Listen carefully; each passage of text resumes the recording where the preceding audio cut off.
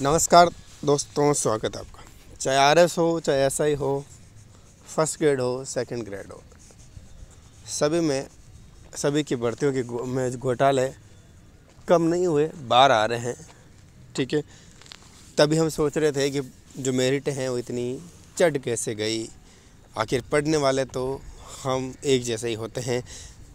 चार पाँच क्वेश्चन ऊपर नीचे मान के चल ले। इतनी लंबी भर्तियों की छलांग लगाना बहुत कुछ बयां करता है।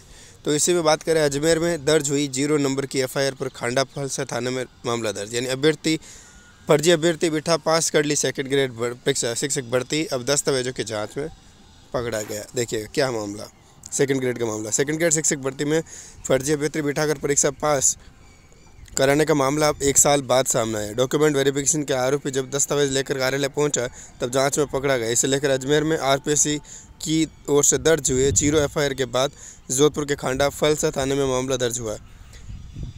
ए डी सी पी सिकाउ निशांत भारद्वाज ने बताया कि Alwar gate, Ajmer hall, RPC के अनुभाग अनुभाग अधिकारी नमन शर्मा ने रिपोर्ट दी। उसने बताया कि पिछले साल फरवरी में आरपीसी की ओर से सेकंड ग्रेड शिक्षक भर्ती का आयोजन किया गया था। इसका सेंटर सिवाची गेट स्थित जयनारायण व्यास गर्ल्स स्कूल में था। यानी जोधपुर की गीता भवन के पास वाली वो स्कूल, ठीक है, जहाँ पिपाड़ शहर थाना क्षेत्र के तिलनवासनी में गाना मंगरा रोड निवासी प्रेम राजपुत्र बाबूलाल ने विज्ञान की परीक्षा में अपनी जगह फर्जी अभ्यर्थी को बैठाकर परीक्षा दिलवा दी।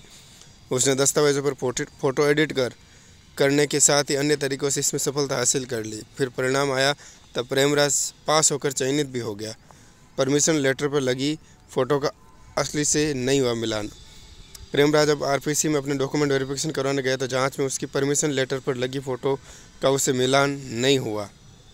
तब पूछताछ में उसकी जगह किसी दूसरे भी बैठने की पुष्टि हुई। अजमेर के स्थानीय थाने में ज़ीरो नंबर की एफ़ दर्ज होने के साथ आरोपी को भी पुलिस को सौंप दिया गया। पुलिस ने धोखाधड़ी, राजस्थान सार्वजनिक परीक्षा अधिनियम वो आईटी एक्ट की धारा में मामला दर्ज कर लिया है। तो इस तरीके से ये फर्जी अभ्यर्थी बैठे थे परीक्षाओं में और ऐसे ही कुचला गया। बेरोज़गार युवाओं के सपनों को, यही लोग कुचल देते हैं, जो मेहनत का सोते हैं उनके सपनों को।